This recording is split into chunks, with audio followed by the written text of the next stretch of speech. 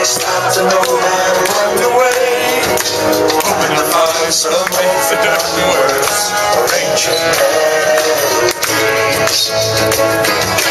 He turned to me as if to say,